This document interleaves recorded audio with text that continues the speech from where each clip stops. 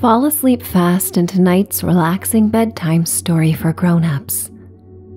You are listening to The Village on the Bridge, a calm sleep story that will take you to an enchanted village built on a bridge. Travel to the land of a thousand bridges, where waterfalls, rushing streams, and pristine rivers weave through a forested valley. Step out of time in this fairy tale setting exploring the historic village. Heartwarming, memorable interactions with the villagers offer inspiration that will stay with you for a long time. At sunset, rooftop celebrations commence with rapturous music and dancing. Come nightfall, you retire at a cozy inn on the bridge and fall into a deep, healing sleep. It's time to dream away. I'd like to welcome you to Michelle's Sanctuary. I am Michelle, and I encourage you to think of me as a trusted friend and your ally for peace and sleep. Each and every day, you deserve to revel in this sacred time for winding down. Your peace of mind, pleasure, and restoration deserve to be a priority. All else can wait. Release your concerns about anything that takes you out of the blissful now.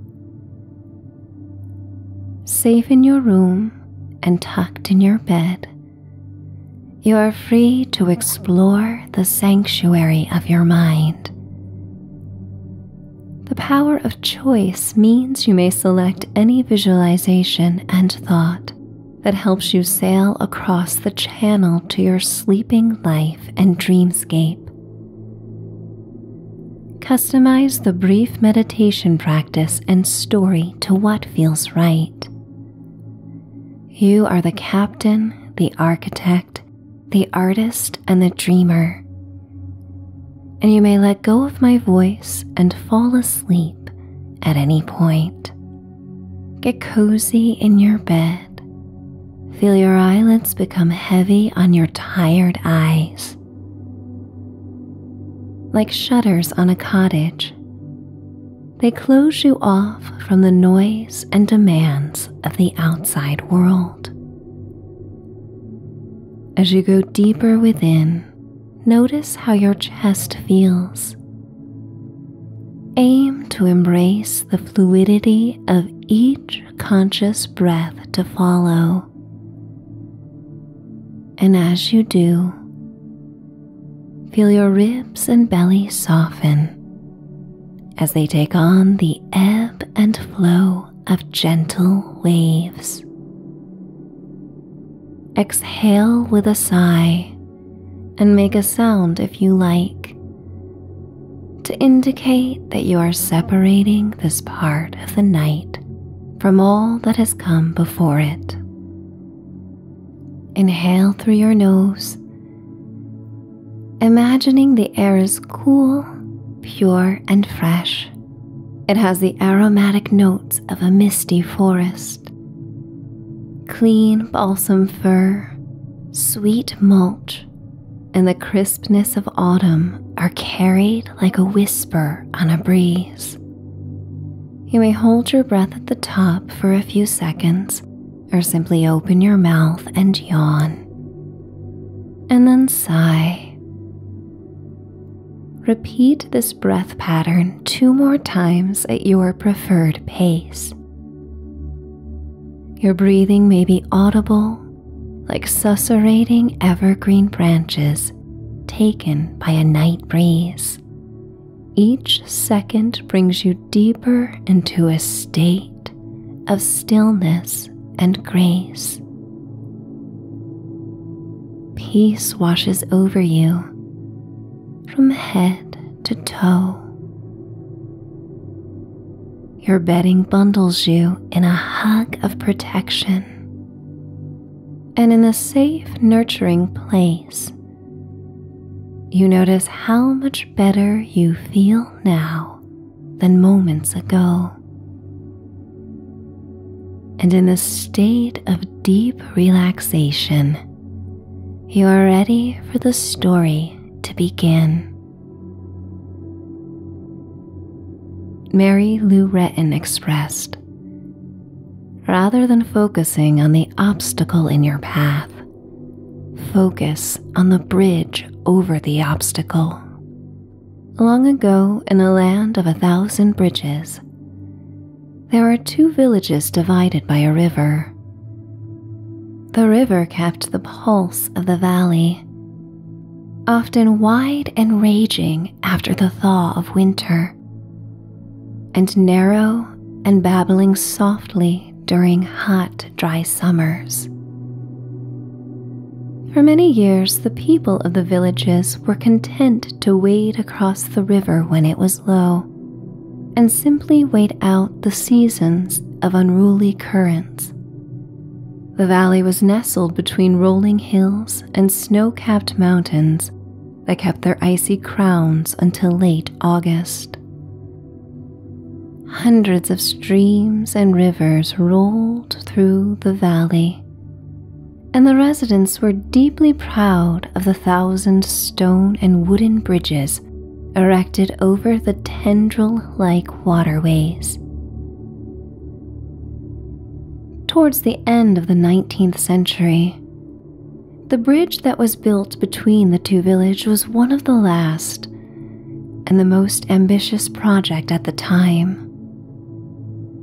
Villagers on both sides of the river enthusiastically came together to celebrate its completion. During what was meant to be a joyous occasion, conflict arose between the leaders of the two villages over a poorly received joke, and the conflict escalated quickly. Their fiery spat may have seemed trivial to an outsider, but their egos fueled a small misunderstanding into escalating discord. Without warning, the villagers woke one morning to discover both sides of the bridge were barricaded and passage was forbidden. For a month, the villagers would gather at the riverbank at sunrises and sunsets to socialize and take in the beauty of the river and bridge cast in gilded light. The bridge was wide and sturdy, with ornate carvings in the stone crafted by local masons who poured their passion for the region into their work. To them, creating this bridge was more than a job. It was an immortal mark that they were once there, vibrant and strong, adding something that would be enjoyed and outlast their time on earth. Most of the villagers thought relations between the hot headed rulers would improve quickly but when they didn't after a season, and then two more, concerns were raised. The bridge was too lovely to be neglected and unused because of some despot's tomfoolery. One night, beneath the light of a waxing gibbous moon, the most compassionate and peaceful villagers from each side of the river convened in the center of the bridge.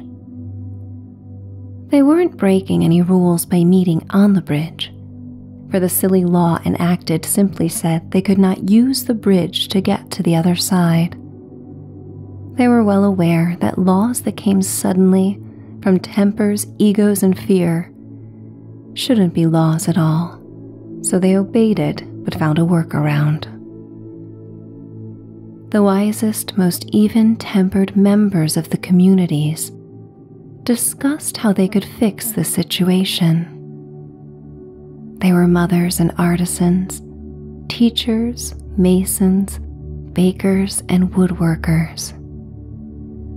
They were souls who would make fantastic leaders, but preferred to live their lives in harmony with nature, choosing work that gave them fulfillment. It was only under the most trying of times that they felt the gentle tug at the soul level to do something and to lead.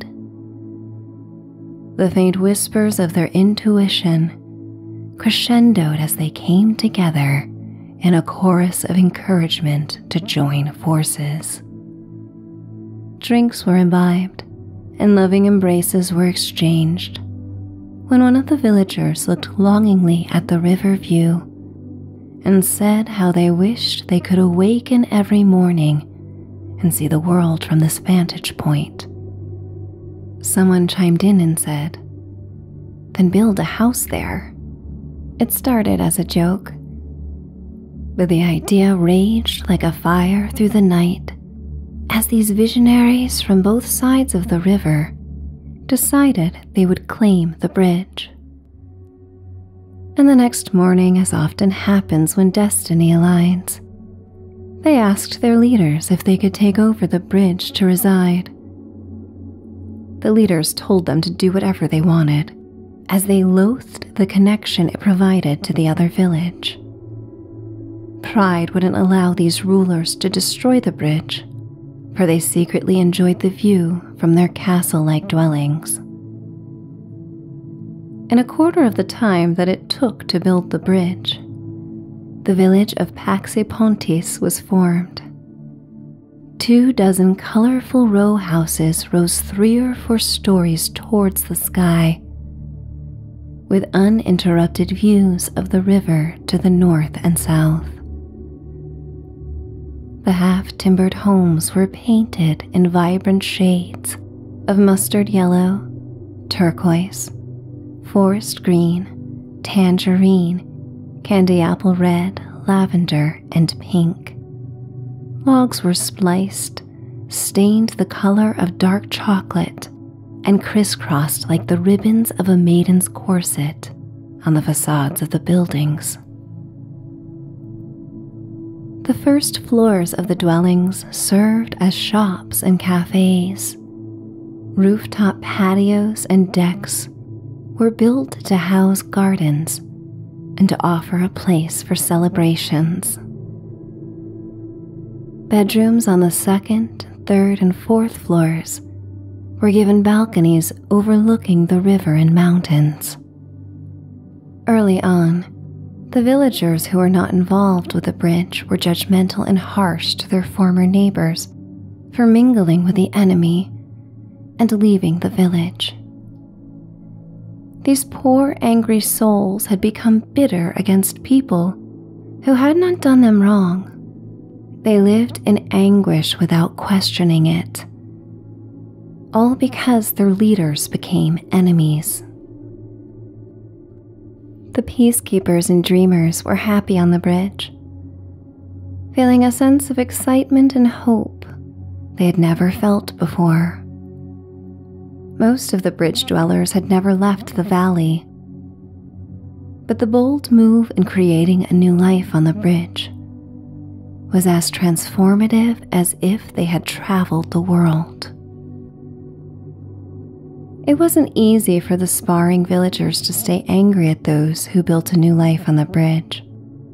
The bridge dwellers had been the most beloved in the community. They were empathetic souls. They also had contributed the most to society. And the smell of Lorianne's fresh baked goods wafting across the flinty damp air was enough for even the rulers to declare a truce. Only when the desire for peace and joy surpassed the need to be right could harmony be found. And it was found in the simple pleasures during an impromptu party on an autumn's eve hosted on the bridge.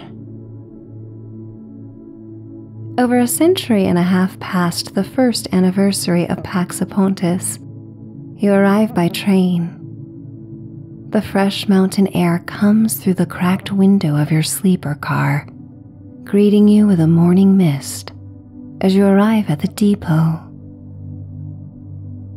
The interior of the train has luxurious decor replicated from the golden era of train travel. Lush emerald and gold velvet upholstery, sleek mahogany wood doors, brass sconces, crystal vases, Edison light bulbs, and jewel toned silk wallpaper set the timeless tone for this journey. At the train station, you are met by Louis, a fourth generation villager from Paxipontis, who transports you to the bridge with a carriage led by a chestnut stallion. You travel light and dress in layers as summer's warmth sings through the daylight hours until the promise of autumn lends its cool melody come nightfall. The silvery mist burns away as you travel on a well worn path that weaves through the woods like a caramel suede strap.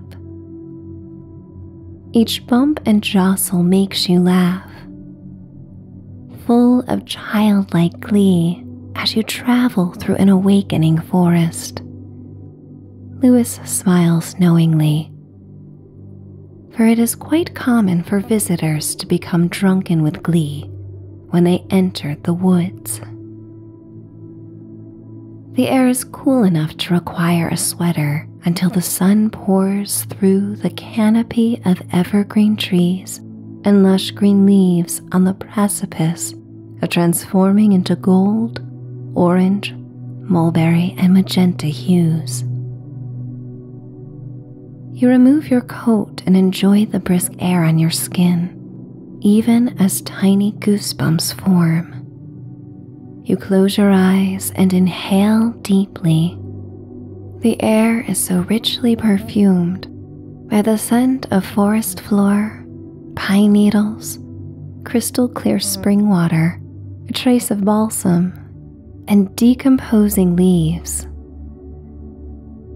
You feel lighter with each breath. Louis glances over his shoulder to observe you taking in the experience and offers a glass bottle of water gathered locally. Your teeth softly clink against the glass lip, and you sip the water it purifies and cools your throat and somehow makes you feel even closer to the landscape. A dove creates a silhouette in the shower of sunlight that lands on your skin as you arrive at a clearing in the woods. Lewis guides you through rolling hills dappled with historic stone cottages and a manor overlooking a riverbank. The carriage continues on a stone path and across wooden bridges over babbling sapphire streams until you come upon the view of Paxipontis. The village on the bridge looms taller than you expected. The facade of the stone bridge is castle like with parts carved into mermaids and mermen, lotus flowers, and ornate balustrades. The brightly painted row houses resemble a box of rainbow oil pastels. You feel as if you have fallen into the pages of an illustrated storybook. Sunlight causes the mist to glisten like gold dust. Happy voices of villagers and visitors travel across the water to the riverbank. Lewis parks the carriage and helps you down with your luggage. You step onto a cobblestone river walk that leads to the bridge and Lewis invites you to join him that evening atop the turquoise house for a celebratory night that marks the anniversary of peace in Paxipontis. You happily accept the invitation and make your way towards the Pontis Inn, a residence turned into a quaint bed and breakfast in the heart of the bridge. The wheels of your suitcase click and rumble on the stone pathway. You carefully guide your luggage around outdoor cafe tables where patrons dine on fresh croissants and quiche, sipping on their cappuccinos and lattes, as bistro music plays from the speaker of the Pax Cafe. Everyone around you is savoring the mid morning hours.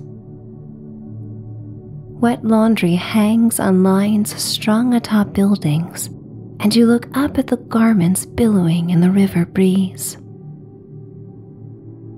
The flinty, salty aroma of the river rises up to meet the perfume of freshly cleaned linens drying in the sun. Your walk is met with smiles, kind greetings, and the feeling of being part of a community. You arrive at the Pontis Inn, a royal blue building with ivory detailing and flower boxes overflowing with fuchsia bougainvillea. The bright pink petals drape down the timber like water trickling over a log. The sky is crystal blue, and the morning mist has burned away and transformed into midday warmth. The sunlight has a rich honeyed tone that comes towards autumn when the white hot light of summer becomes subdued. And many things on this day in Paxipontis feel subdued easy and as gentle as the rippling currents and line dried linens. You open the heavy, dark brown door into the foyer of the inn and are greeted by Margareta, a woman with flowing silver hair and piercing violet eyes. Sunlight pours in from the open door and surrounds her in a halo she greets you by name. Her voice is soothing and distinctive, with an accent you cannot place. She helps you with your bag and guides you up the wooden stairs that creak beneath your feet. The wide cherry wood banister feels smooth and cool to the touch and spirals around into the foyer like a slide. You ascend each step and take in the fragrance of cinnamon, sweet old books, pumpkin bread, and Margareta's lemon verbena perfume. The air is dry and warm inside the inn. You walk down the shadowy hallway of the third floor, and Margareta opens ivory double doors into your suite bright sunlight pours into the room from the porta fenetres, known in France as windowed doors, as the multi paned windows are large enough to walk through. They open into the room, and chiffon curtains drift on the breeze like opal morning mist. Ceramic vases throughout the suite overflow with dried lavender adding pops of color to the cream and beige tones that dominate the decor. A king sized four poster bed is in the center of the room, covered in a white embroidered duvet and a sea of pillows. Margareta opens a luggage rack and you place your suitcase atop it. The suite embodies the purity of the mountain air and sky. You are certain you will sleep well here as you attempt to stifle a yawn that comes out anyway. Margareta smiles and says people often yawn when they feel at peace, and that she hopes you feel at peace in Paxipontis. She gestures to a small silver bell on a hand carved wooden table by the entryway, insisting you ring it should any needs arise. You thank her as she wishes you the most pleasant stay and then closes the doors behind her. You walk to the windows and take in the view, overcome by a deep sense of reverence and ease. The faint laughter and conversations of cafe patrons merge with the persistent music of the river, gurgling and flowing with a soothing soundtrack. You sigh with ease and grace.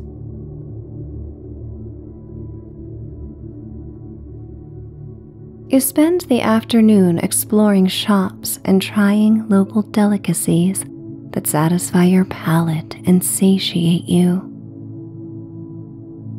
The Tangerine Building was the first one built on the bridge.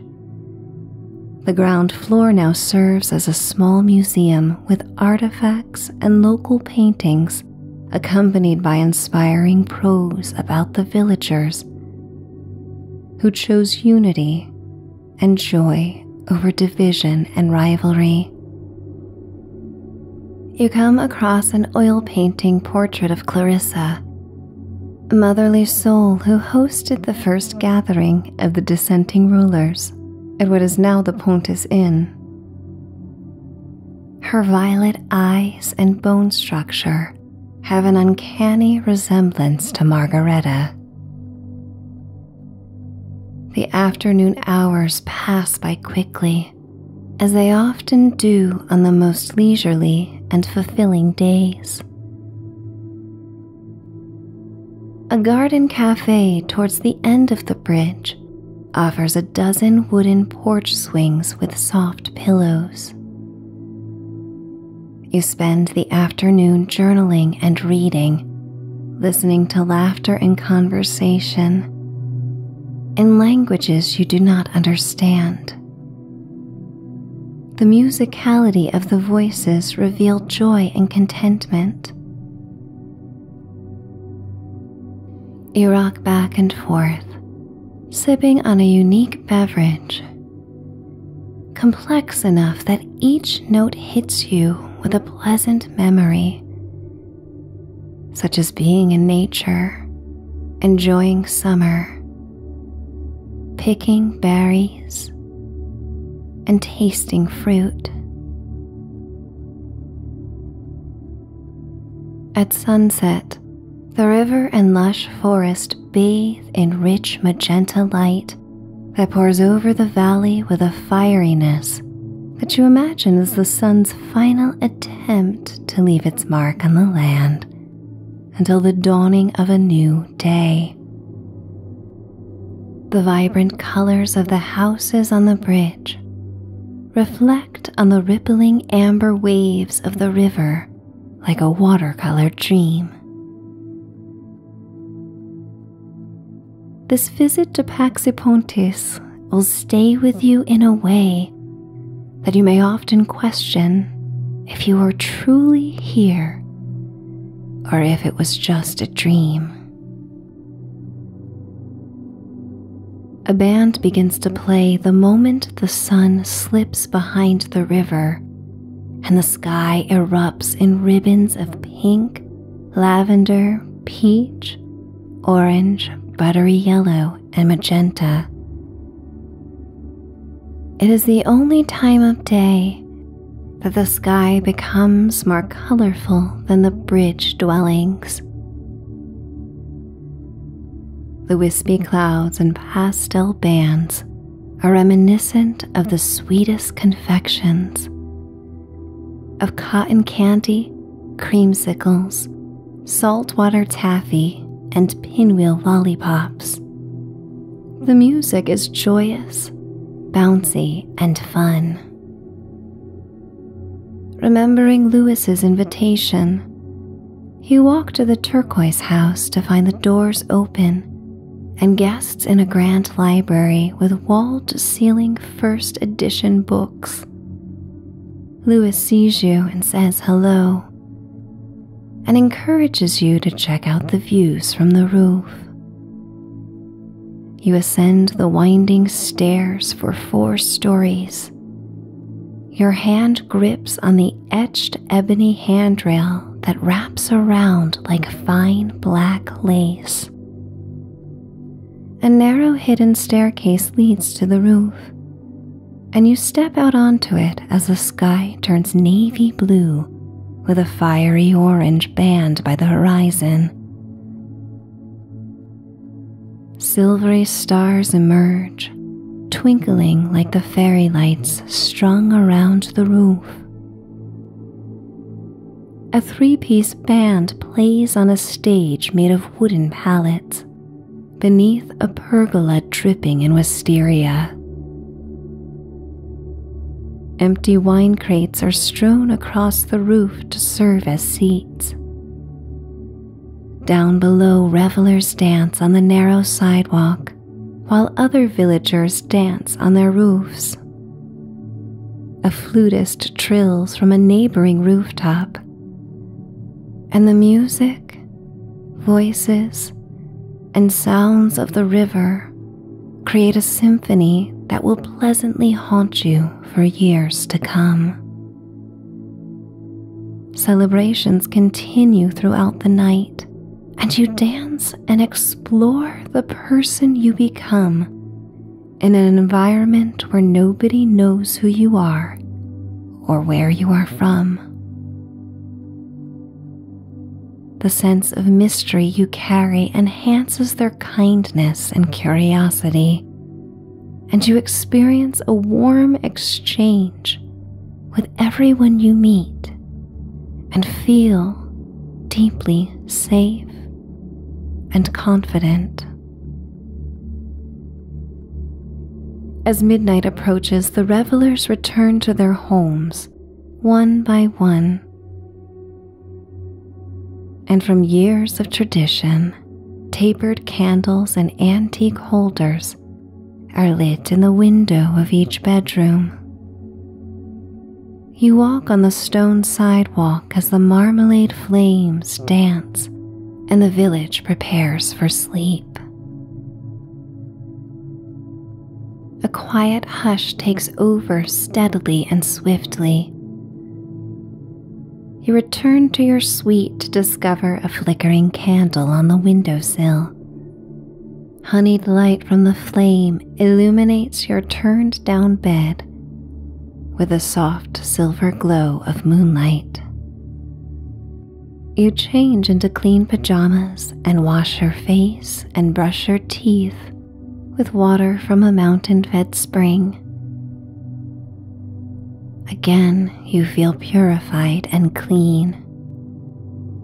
You walk to the windows that open out onto the night. You look at the inky blue river that ripples with the reflections of a million mirrors. You inhale the pristine night air and hug your arms around you when hit by the crispness of the midnight hour. You raise the brass candle holder so the flame is positioned before your lips.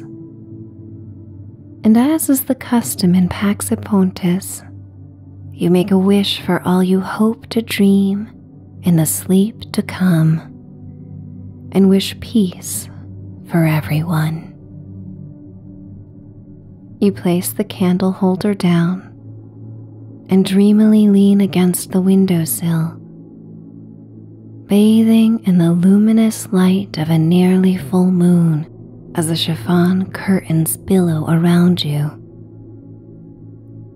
You feel as if you could float through the night as carefree as the water below, the wispy clouds in the sky, and the delicate curtains that dance like gossamer. You close the windows, leaving a small crack for the mountain air to flow through the room and usher you to sleep. You draw thick gold velvet curtains closed and retreat to the plush bed. You climb atop the downy mattress topper and pull the crisp sheets and weighted duvet up to your chin. Your head sinks into the marshmallow like pillows that contour around your neck and head, supporting you. You feel safe and full of trust as you close your tired eyes and begin to drift. Your chest undulates like waves. With each deep inhalation and exhalation, as you go deeper and deeper down into the soft, inviting darkness. You nurture the gentleness of this moment, feeding the sensations of peace and bliss that you deserve. The night taps into the wonders of the sanctuary of your mind and ushers you to sleep.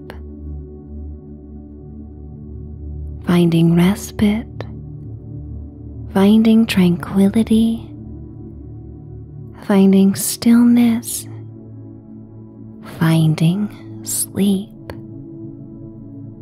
It's time to dream away.